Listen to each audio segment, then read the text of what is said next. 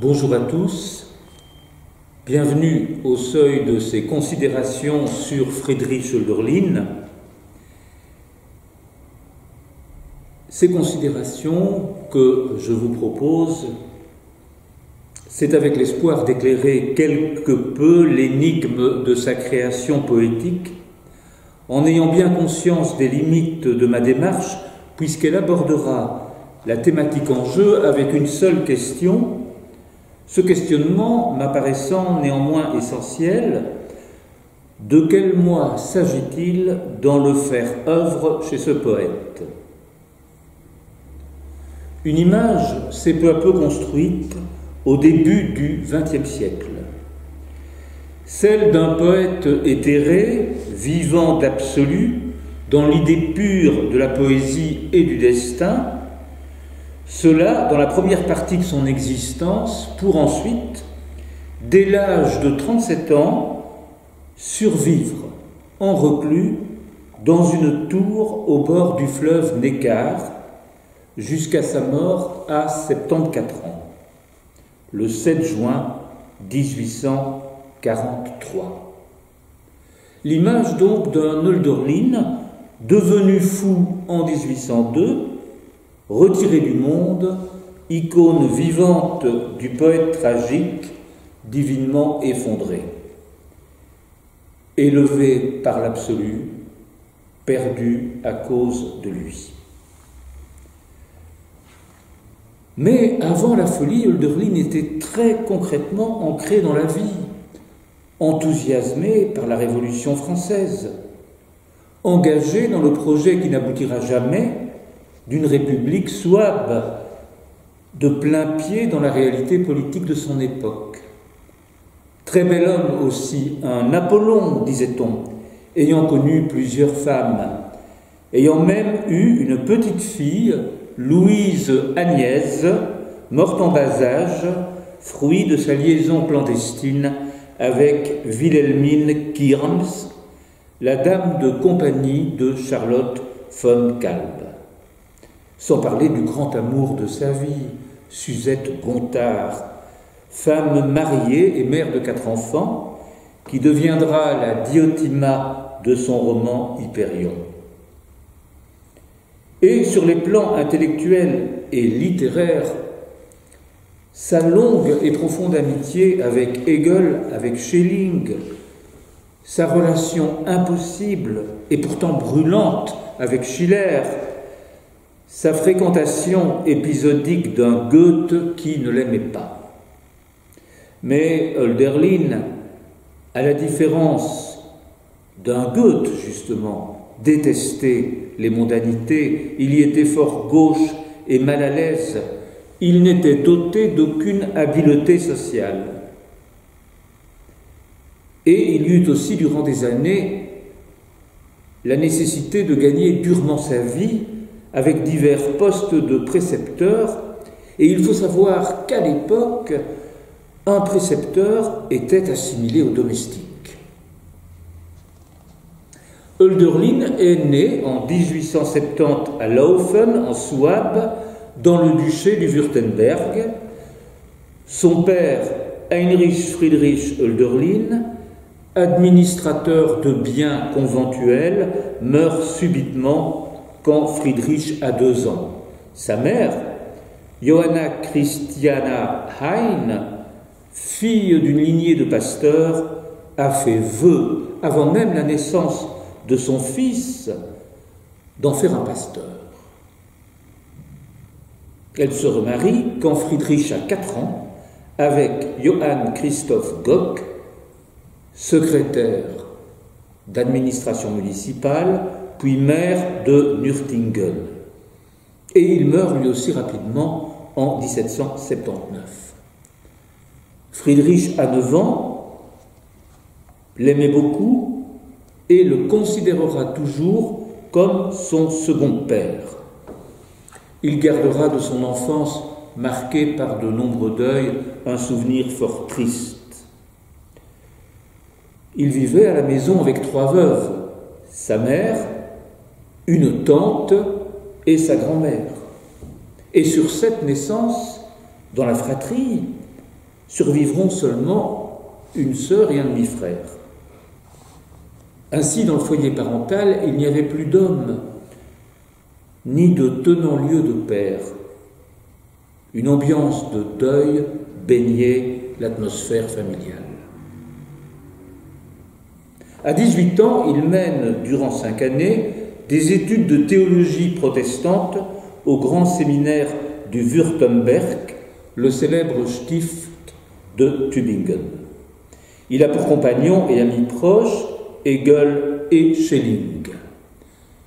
Pierre Berthaud, dans sa remarquable biographie Hölderlin ou le temps d'un poète, écrit d'ailleurs, je le cite, c'est en effet du frottement des cervelles entre Hölderlin et Hegel qu'est née la forme de pensée dite dialectique dont on sait la fortune qu'elle a connue par la suite. Ces études terminées, il devient précepteur chez Charlotte von Kalb à Waltershausen, dont il prend en charge le jeune fils adolescent Fritz, suite d'ailleurs aux recommandations de Schiller. Mais de plus en plus obsédé par l'onanisme compulsif de son élève, qui est un, un jeune adolescent, il cherche à le contrôler totalement et va présenter les premiers symptômes d'un trouble psychologique. Charlotte, la mère de Fritz, écrit à ce sujet à Schiller en le suppliant de n'en rien dire à Hölderlin, car, je cite, Charlotte, elle écrit à Schiller, sa susceptibilité est sans limite, et l'on pense vraiment qu'un désordre de l'entendement est à la base de ce comportement. Il était devenu extrêmement tyrannique vis-à-vis de son élève.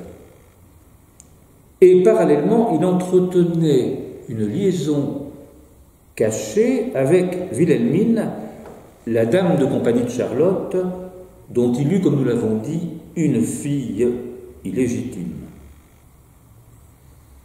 Tout cela fait qu'il fuit brutalement Waltershausen en janvier 1795 il a donc 25 euh, ans et il part pour euh, où il suit le soir à l'université les cours de Fichte, considéré comme le fondateur du nationalisme allemand. Il va y rencontrer le baron Isaac von Sinclair, âgé de 19 ans, qui deviendra vraiment un ami très très proche et fidèle d'Olderlin. Il reste peu de temps à Iéna. En juin 1795, il quitte de nouveau impulsivement Iéna, sans même dire au revoir à Schiller, et retourne chez sa mère à Nürtingen. Il y passe l'été dans une profonde dépression. Sa relation avec Schiller, pourtant fort bienveillant et attentif, il faut le souligner, lui est devenu insupportable comme une impasse existentielle. Être trop proche de Schiller, Schiller est de dix ans son aîné. Être trop proche de Schiller est vécu comme dangereux, alors que toute prise de distance par rapport à lui le désespère. Il lui écrit en juillet Je savais bien que je ne pourrais pas m'éloigner de votre proximité sans porter un préjudice considérable à mon être intime. J'étais constamment tenté de vous voir et ne vous voyais que pour ressentir que je ne pouvais être rien pour vous, parce que je voulais être tout pour vous. Il m'a fallu me dire que je n'étais rien pour vous. C'est radical, c'est une question d'être tout ou de n'être rien. Schiller avait publié dans sa revue Thalia un an auparavant, en 1794, des fragments d'une première ébauche du roman Hyperion, ainsi que quelques poèmes de Hölderlin. Et Schiller est même allé jusqu'à recommander à l'éditeur Cotta l'édition du roman avant même qu'il fût achevé. Pendant l'été 1795, donc, où il vit chez sa mère, il va recevoir la visite d'un camarade à lui, un certain Magnau, et ce visiteur va trouver Hölderlin dans un état mental catastrophique. Voilà ce qu'il va écrire L'été dernier, j'ai parlé avec Hölderlin. Je devrais plutôt dire que je l'ai vu car il était incapable de parler, inaccessible à ses semblables, un mort vivant. Il racontait des histoires à dormir debout, parlait d'un voyage à Rome, Rome où nos braves Allemands vont retrouver leur sang-froid, disait-il. Il est à noter que Hölderlin lui-même, quelques années plus tard, en juin 1799, écrira à son propre sujet, à Suzette Gontard, Je m'adresse le mot terrible, cadavre vivant. Ça fait écho à l'expression de Magnot qui disait cadavre vivant. Déjà durant l'été 1795, Hölderlin se vit comme pétrifié il écrit à Schiller le 4 septembre Dans l'hiver qui m'environne, je suis gourde de froid, je frissonne. On a dit état dépressif, mais il est très probable que cette dépression n'était pas une dépression simple, mais probablement une dépression de nature psychotique, c'est-à-dire comportant des éléments délirants, et un sentiment de néantisation intérieure. En tout cas, il tient des propos incohérents ou bien il verse dans le mutisme. Mais va se produire une rémission, la crise va se dissiper peu à peu, et à Noël 1795, quelques mois plus tard, il arrive à Francfort chez le gontier chez le banquier pardon, Gontard, son épouse Suzette et leurs quatre enfants. Le coup de foudre entre Suzette et Friedrich est immédiat lors de leur première euh, rencontre. Elle a 27 ans et lui 26. L'écriture de son roman Hyperion avait débuté bien avant, dès 1792, avec déjà le personnage de Diotima qui précède donc la rencontre dans la réalité avec Suzette Gontard. Hyperion, c'est, pour euh, résumer, l'histoire d'un amour idéalisé entre Diotima et Hyperion. C'est un roman par lettres conforme à une certaine tradition littéraire de l'époque. Comme le souligne le psychanalyste Jean Laplanche, je le cite, Suzette vient exactement à la place que lui désignaient les noms de Mélite puis Diotima, au point que la personne réelle coïncide sans aucun jeu avec la figure poétique du roman. Nous pourrions dire la réalité rencontre le fantasme. Et nous savons, la psychanalyse nous l'a appris, que c'est toujours un moment dangereux.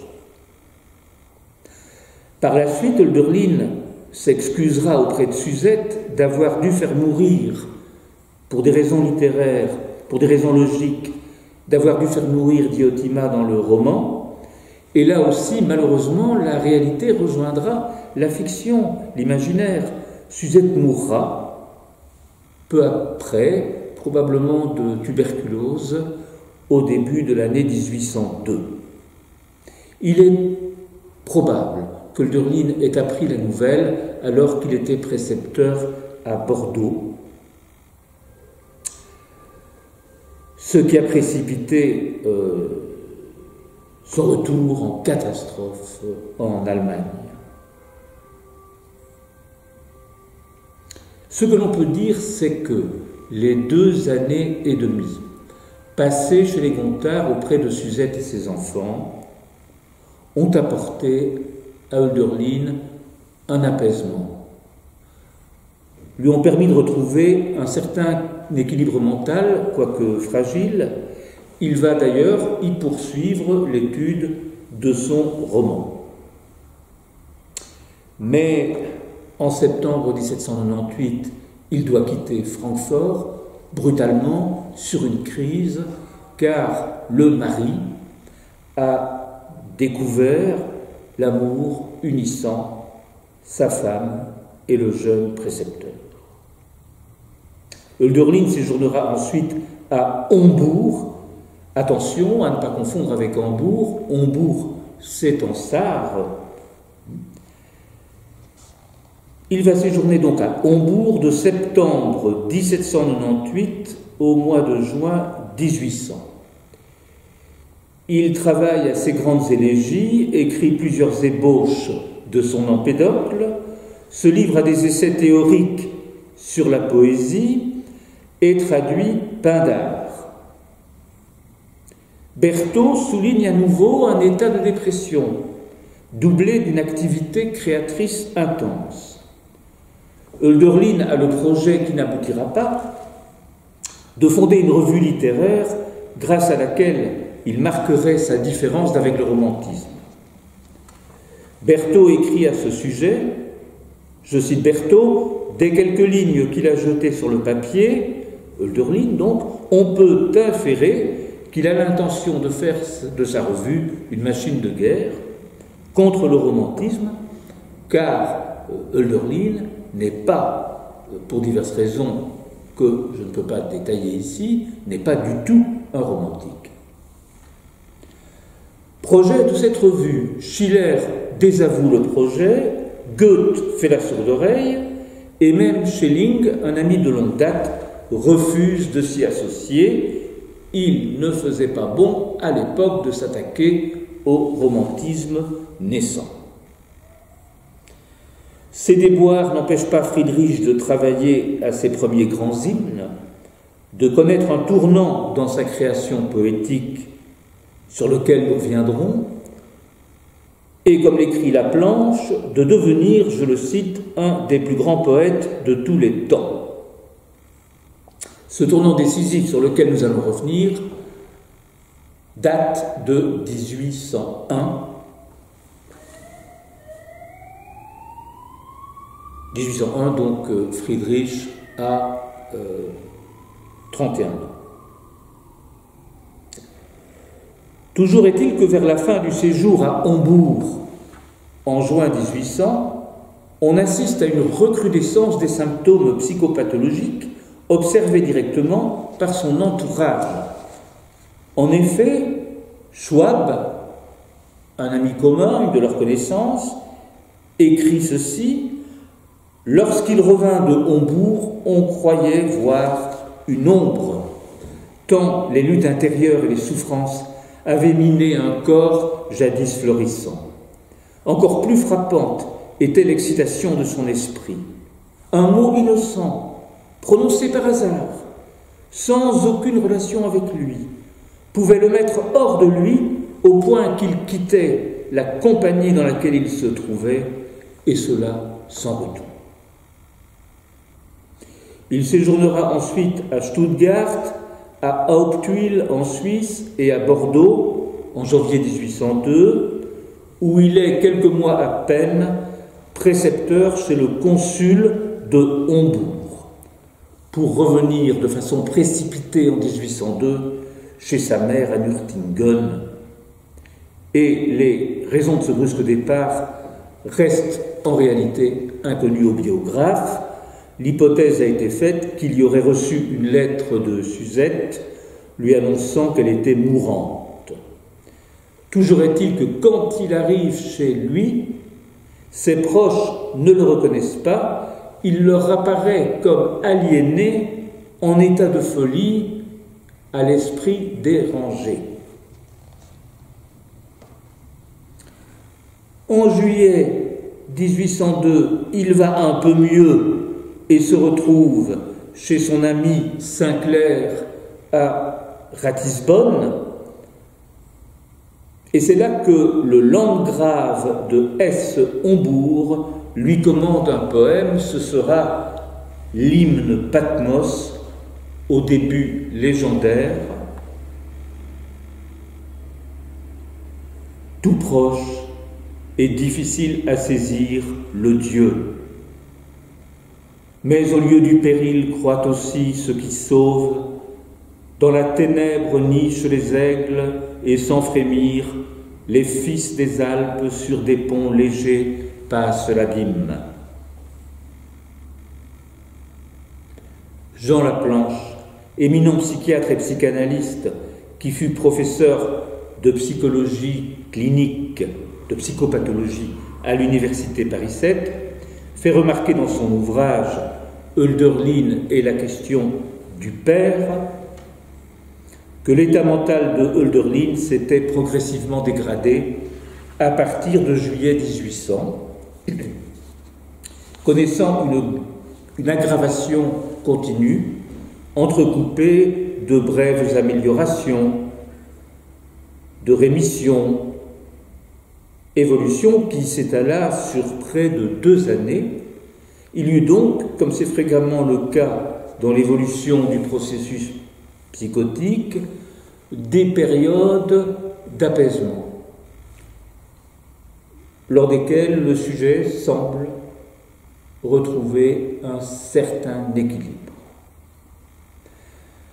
Son état se caractérisait par une succession de périodes d'abattement et d'excitation, une cyclotimie, un vécu de dévastation intérieure, une hypersensibilité et une susceptibilité extrême, le sentiment d'une menace diffuse, des tendances paranoïdes qui le rendaient interprétatif, nous l'avons vu, ce dont témoigne Schwab, cité ci avant Jean Laplanche écrit Cette hypersensibilité vient culminer en une susceptibilité extrême, toute relation interhumaine le meurtrit.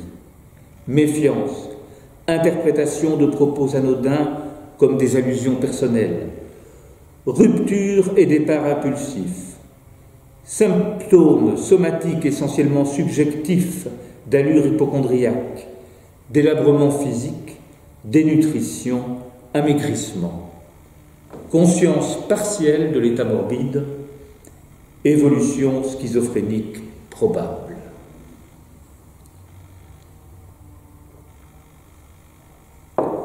De retour chez sa mère à l'été 1802, il était en proie à une agitation violente et comme nous l'avons mentionné, son dérangement mental ne faisait plus de doute pour son entourage. Mais, dans le même temps, il atteignait les sommets de son œuvre, la création des grands hymnes. Il devenait Hölderlin. Pourtant, son état mental empirait.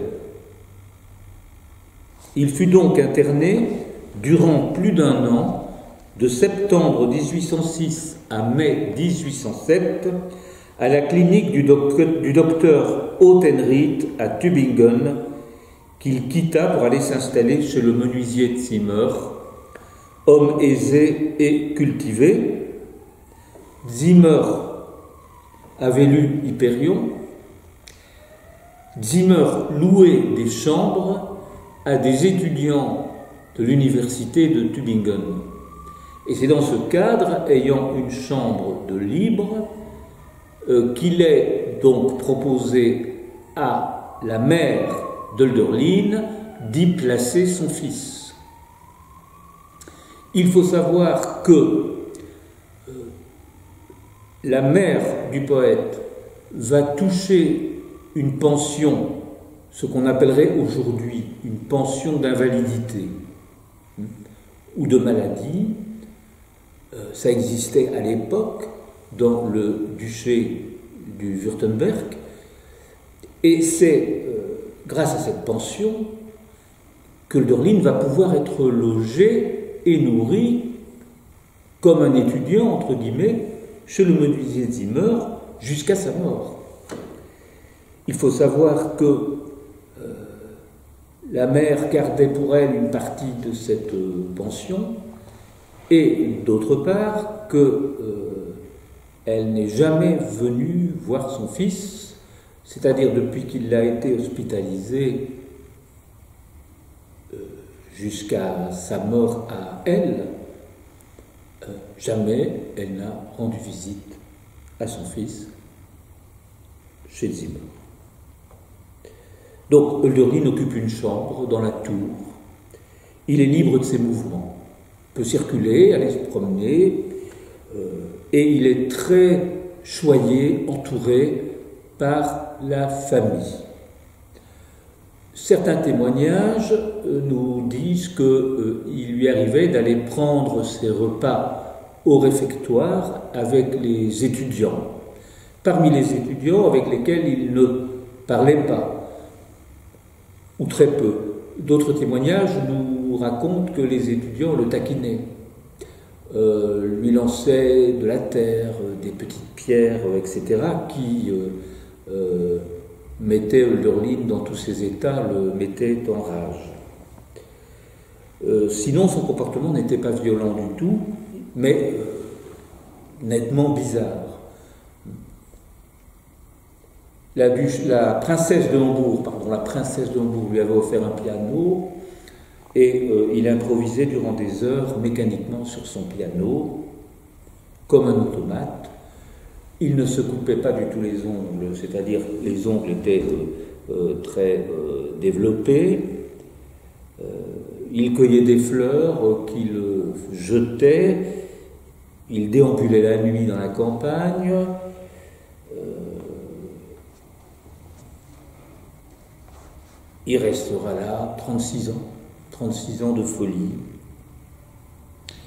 En avril 1843, deux mois avant sa mort, il a donc 73 euh, ans, il écrivit un poème de six vers pour un étudiant en théologie, un certain Johann Georg Fischer, et il signa Votre humble serviteur Scardanelli, 24 mai 1748. 1748, rappelons que Durlin était né en 1770. Il ne s'attribuait plus que des noms d'emprunt ou inventés, n'usant jamais du sien, comme si Hölderlin, depuis 1807, avait disparu du monde. On retrouvera après sa mort une cinquantaine de poèmes, beaucoup d'autres ayant été perdus ou jetés. Il mourut le 7 juin 1843, veillé par Lotte Zimmer, la fille du menuisier qui était décédé depuis. Son demi-frère, le demi-frère de Karl Gock n'assista pas aux obsèques le 10 juin.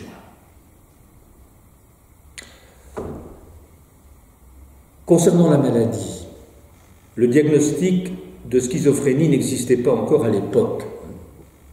Mais le fait que Durlin souffrait d'un grave dérangement de l'esprit, de folie avec des troubles de la pensée, de brusques changements de l'humeur, une désintégration de son identité, une perte du contact vital avec la réalité, cela semblait certain pour les témoins oculaires, de même, de même que pour la famille Zimmer. Et pour également les personnes, les quelques personnes qui lui ont rendu visite euh, lors de son exil dans cette tour. Dès 1908, Wilhelm Lang médecin à la clinique psychiatrique de l'université de Tübingen, un éminent psychiatre allemand, établit le diagnostic de démence précoce catatonique, c'est-à-dire une psychose qui sera dénommée plus tard schizophrénie, schizophrénie à partir de 1911 euh, sous euh, l'influence de Bleuler, qui est l'auteur de ce terme de schizophrénie. Qu'est-ce qui forme le cœur de la schizophrénie? C'est une dissociation du moi qui se décompose, mais également un vécu de morcellement du corps qui se démembre. Le principe du je, J-E, vole en éclats. Plus près de nous, le grand psychiatre et philosophe Karl Jaspers, ou encore Maurice Blanchot et Jean Laplanche, pour ne citer que cela, ne mettent plus en question la présence d'une schizophrénie, ce que fait au contraire Pierre Berthaud dans son ouvrage Cité, euh, que je vous recommande, très bien documenté, très honnête intellectuellement, mais à côté de la plaque, sur le plan de la psychopathologie, Pierre Berthaud euh, n'était pas du tout psychopathologue, ni psychologue, ni psychiatre. Euh, c'était essentiellement un, grand diplomate. Alors la schizophrénie, ce n'est pas une tare, loin de là. Au contraire, cette affection peut permettre, chez certaines personnes schizophrènes, pas chez toutes, d'accéder à des vérités et à des capacités de formulation langagière que la saine raison et l'état réputé normal auquel donc euh, euh, l'état réputé normal n'a guère accès. Il y a une sorte de lucidité propre euh, aux schizophrènes de pouvoir à certains moments formuler des vérités essentielles sur l'être humain qui échappent à la philosophie, à la rationalité. Mais il est certain que ces moments, ces éclairs de lucidité euh, sont rares, ils existent, mais ils sont rares et ils sont euh, épisodiques, ils ne durent pas. Durant longtemps, Hölderlin fut négligé, rejeté comme poète en Allemagne parce que justement considéré comme un fou, comme un aliéné. Et c'est Stéphane Georges, juste avant la Première Guerre mondiale, qui tenta de réhabiliter le poète. Il incita son élève Norbert von Ellingrad d'entreprendre une grande édition critique de l'œuvre, le premier volume paru juste avant la guerre. Malheureusement, Norbert fut tué au front devant Verdun en décembre 1916. Concernant l'œuvre poétique, ce qui est absolument remarquable, c'est que de 1801 à 1806, alors qu'il s'enfonce de plus en plus dans la psychose, l'on insiste à l'éclosion du génie, à la création des grands hymnes. On peut en, recenser douze d'achevés qui sont euh, repris dans la Pléiade. Qu'est-ce qui les caractérise? C'est la thématique de la vocation du poète, dicteur de Rouf. Une mythologie et une cosmogonie hölderlinienne se mettent en place autour de la vocation poétique. On trouve dans ces poèmes l'apparition du vers libre, un flux délié, un rythme plus souple et vivant, une légèreté lumineuse dans une profondeur extrême, un ton élégiaque, des formules inouïes sur l'existence, jamais prononcées auparavant, une pensée illuminante sur l'être humain perçu dans sa dimension tragique. La poésie apparaît comme le salut puisqu'elle vient se substituer au Dieu disparu. Elle seule maintenant, dans ces temps de l'Aufklärung, de la modernité rayonnante, peut donner sa fondation Grundung à la parole, à l'être humain. Hölderlin pressent en effet que le matérialisme et le rationalisme naissant cause la perte de la transcendance dans le rapport au monde, à la terre, à la nature,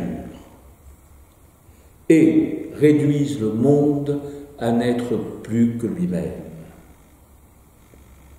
Ce qui l'intéresse au contraire chez les Grecs, c'est que ceux-ci vivaient dans le compagnonnage et la proximité des dieux, dont la présence quotidienne, dans l'immanence du familier, sauvegardait la réalité d'un ailleurs, d'une dimension autre. Pour le poète, cette transcendance est à l'œuvre à même la nature. La terre, elle ne flotte pas au-dessus du monde, elle n'a pas chez lui de connotation religieuse, Hölderlin ayant assez tôt perdu la foi. Le Dieu, chez lui, est la figure métaphorique de cet ailleurs, de cette dimension autre, il n'est pas à réifier dans une substance. Concernant donc, ce, concernant donc ce fameux tournant de 1801, la plupart des spécialistes reconnaissent la présence de ce tournant, de ce changement dans l'œuvre, et l'estiment aller dans le sens de l'épanouissement de celle-ci. Mais la question demeure de savoir s'il s'agit là d'un saut qualitatif, introduisant de la discontinuité, un franchissement, ou si l'on a plutôt affaire à une continuité transformante. La question fait débat, les érudits ne sont pas d'accord. Pour Elingrat, il y a un développement continu, Hölderlin devenant progressivement maître de l'hymne. Pour Dilthey, ces poèmes apportent une tonalité vraiment nouvelle, un style neuf, une énergie particulière. Pour Jaspers, on observe une transformation radicale, mais avec de lentes transitions. Pour Blanchot, Hölderlin prend conscience de sa vocation, de sa mission. Il découvre, je cite, la vérité et l'affirmation de l'essence poétique. Pour la planche, on assiste bien à une césure, à un saut qualitatif radical. Quant à Heidegger, il pense que Derlin est sous le coup d'une révélation. Dans son étude Hölderlin et l'essence de la poésie, il note en quoi pourrait consister cette révélation dont le poète est l'objet. Je cite Jamais la poésie ne reçoit le langage comme une matière à œuvrer et qui serait à sa disposition mais c'est au contraire la poésie qui commence par rendre possible le langage. Elle serait donc la condition de possibilité de celui-ci. La poésie est la langue originaire, Ursprache, qui rend possible le langage. Elle précède le langage. Car pour le philosophe, celui-ci n'est pas d'abord communication, il ne l'est que secondairement. Le langage est d'abord révélation de l'être des choses. La dimension poétique que Heidegger dénomme tantôt, dit Durmessung, la mesure diamétrale, je préférerais dire la mesure transversale. Tantôt dimension, cette dimension poétique est présente chez tout être humain. Elle se situe au cœur de son être, elle lui est congéniale. Le langage, quant à lui, en découle, il en procède. Cette dimension ne se réduit donc pas à l'activité de faire des poèmes, elle est dans l'être ce qui permet aux mortels d'habiter la terre en relation avec les célestes et le cosmos, elle ouvre la parole et l'espace du devenir. S'il y a chez Heidegger des limites dans son approche ontologique de Hölderlin, et des limites, il y en a. Le philosophe mettant tellement l'accent sur la question de l'être qu'il en oublie parfois la vie. Il n'est pas question non plus de l'amour. Il faut reconnaître à Heidegger le mérite d'avoir vu que ce que vise la poésie de Lurline, c'est l'originel. La vérité poétique, c'est la visée transcendantale de l'origine. Et l'origine, c'est le point d'énigme téléologique du monde et de la vie. Autrement dit, l'originel, ce n'est pas l'archaïque, le passé, mais l'origine, c'est le point d'appel en avant de nous, depuis le but, la cause finale, le sens ultime. L'origine est à l'horizon du devenir, elle est à venir. Une certitude se fait jour. Chez Hölderlin, plus la maladie progresse, plus la maîtrise dans sa création, lucide, il faut le souligner, s'épanouit. Jasper s'écrit Au temps de la maladie, on peut voir peu à peu, chose émouvante, cette conscience de soi inquiète, douloureuse, devenir sereine et dominatrice. Et de poursuivre l'ancienne nostalgie, cette angoisse de se sentir partagé, malheureux, exilé, se transforme au cours de sa maladie et j'ajouterai de sa création ultime, de sa création poétique ultime, se transforme en un sentiment de présence immédiate qui le comble et le soulève jusqu'à une sphère plus vaste. Il ressent une présence mythique. C'est pourquoi sa mélancolie diminue tant qu'augmente en lui un sentiment de plénitude. Paradoxalement, donc, plus se désintègre son moi sur le plan psychologique, plus croissent la conscience de sa vocation poétique et le mouvement de son accomplissement. Dès lors, la question se pose de savoir quel rapport entretiennent le processus morbide et celui de la création, puisqu'il semble noué dans un chiasme de contradiction. C'est un rapport de circularité. La schizophrénie agit sur la poésie et celle-ci, en retour, informe celle-là. Comme le souligne Jasper C. Blanchot, la schizophrénie va ouvrir, fissurer le moi et permettre au poète d'atteindre des zones de l'humain fermées à la rationalité et à l'état dit normal. En témoignent les premiers vers du poème Mnémosine que je traduis ainsi. Nous sommes un signe sans interprétation possible, deutungslos, dépourvu de douleur, schmerzlos, et nous avons presque perdu notre langue, Sprache, à l'étranger, in der Fremde. Par ailleurs, les thématiques propres à la schizophrénie, vécues de manière délirante par les malades, quelle est ma mission? À quoi suis-je destiné Quelle est la vérité, le sens ultime du monde? Que me veut Dieu ou le diable? Ces thématiques vont venir coïncider avec les questions existentielles du poète et les amplifier à l'extrême. Lurline va être possédé par le divin, par la question du destin, de la vocation poétique. Mais la poésie va elle aussi exercer son action sur la schizophrénie. Si le rapport est circulaire entre les deux, il n'y a pas de symétrie dans cette circularité, parce que poésie et schizophrénie ne se situent pas au même niveau existentiel. En effet, la poésie fonde son être la maladie se situe sur le plan de l'avoir, avoir encore ou ne plus avoir de moi.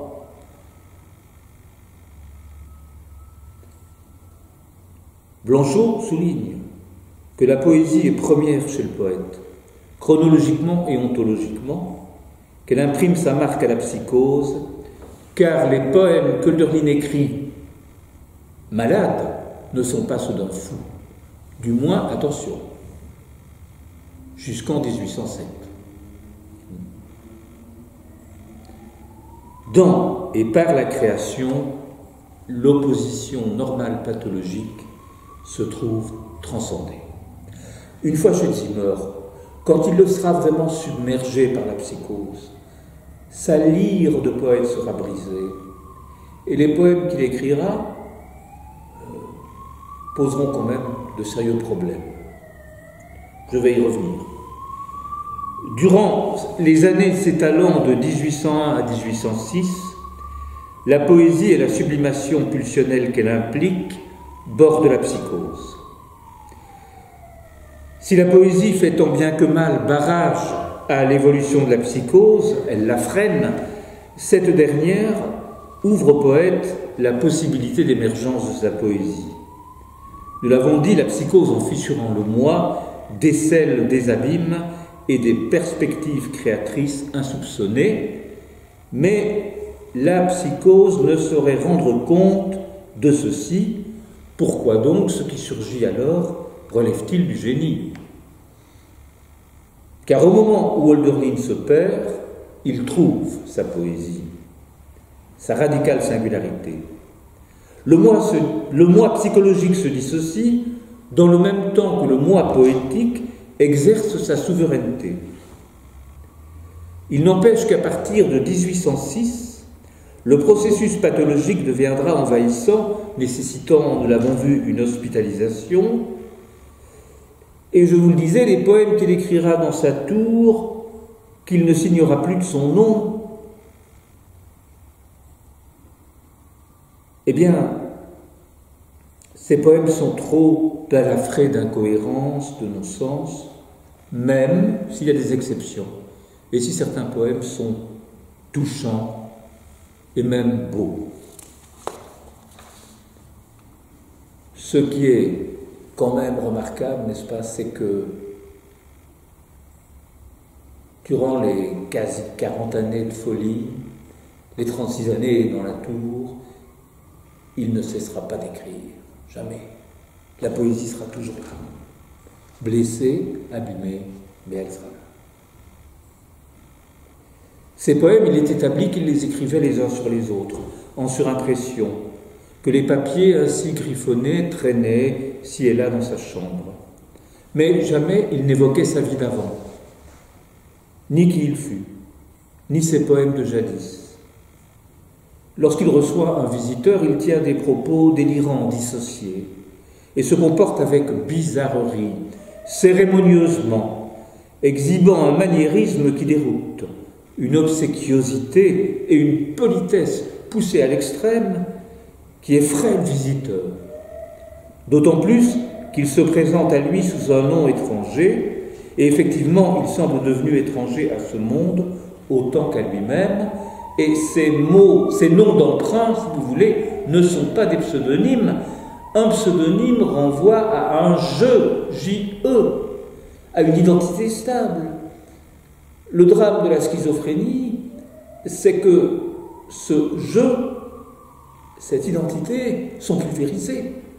Ce ne sont pas des pseudonymes, ce sont des noms, des signifiants,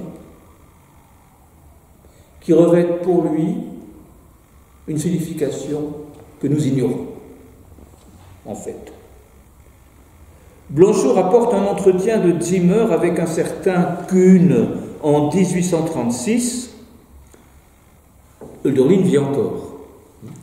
Dans lequel le menuisier déclare notamment à ce certain Kuhn S'il est devenu fou, c'est à force d'être savant.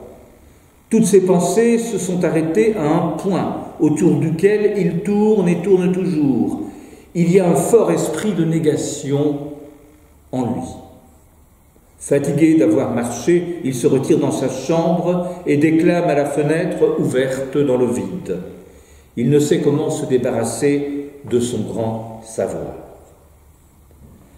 La, question qui interpelle donc le psychologue autant que l'écrivain, le poète, le philosophe, l'amateur éclairé de poésie est la suivante.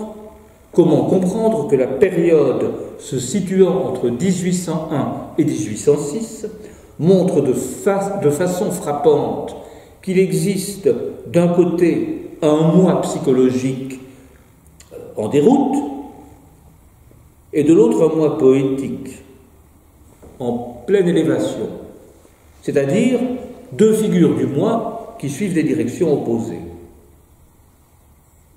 Le moi psychologique se dissocie, le moi poétique s'affirme en plénitude.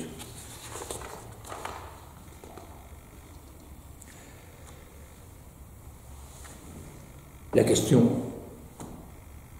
reste quand même ouverte. Même si on peut tenter d'apporter une ébauche de réponse. La planche aura cette formule admirable à la fin de son livre.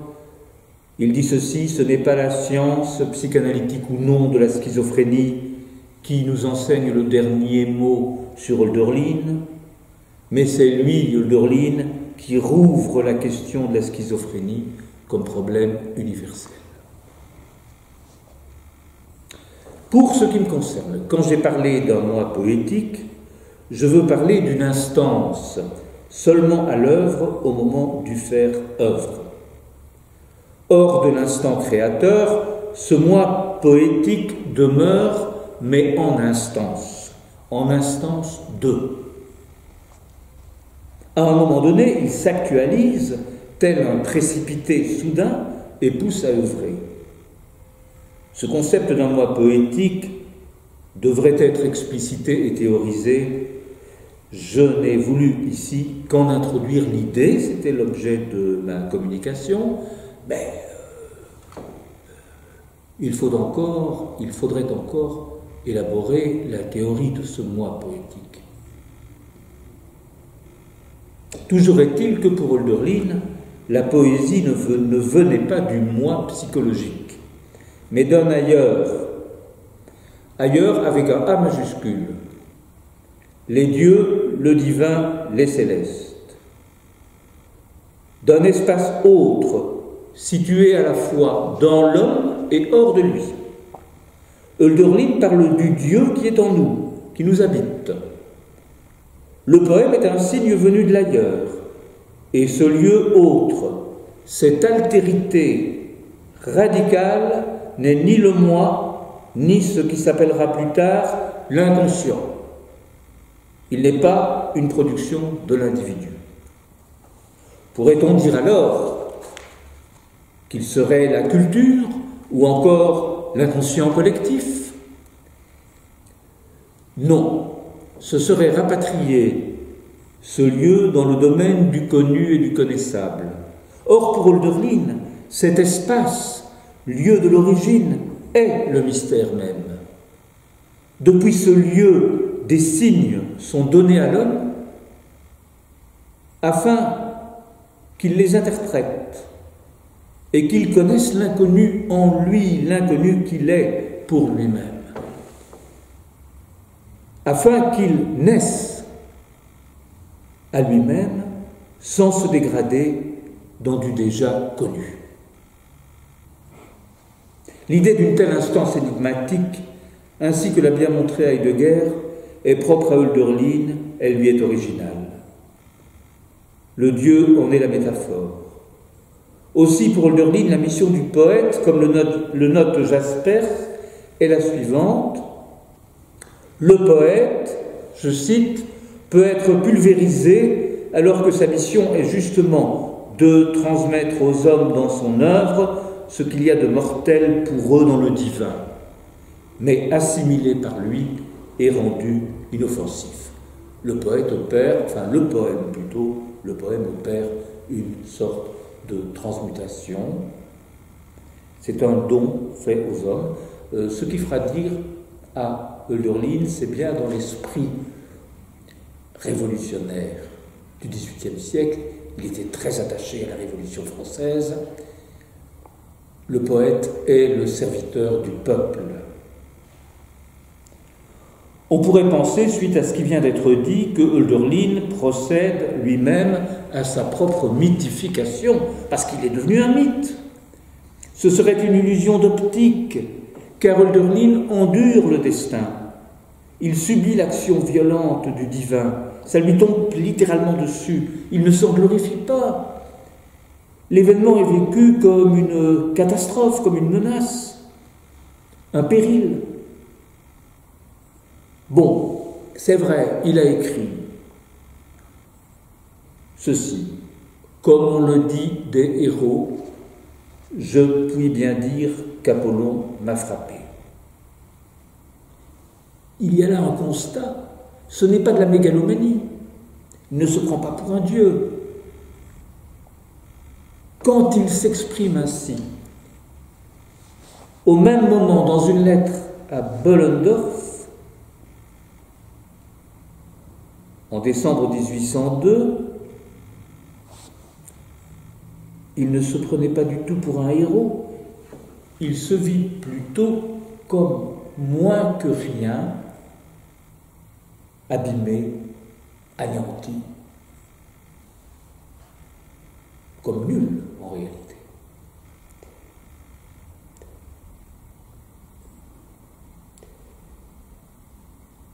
Ce n'est pas de la mégalomanie, c'est une immense humilité qui l'écrase quelque part lui-même.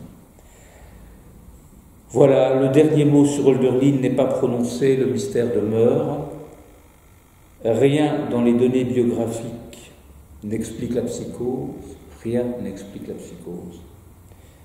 C'est pourquoi on peut émettre les plus grandes réserves sur le plan psychanalytique par rapport au livre de la planche. Et rien ne permet de comprendre l'irruption du souverain génie au plus fort de la tempête. Vous pourrez trouver le texte écrit de cette communication sur le site de l'Académie. Je vous remercie pour votre attention.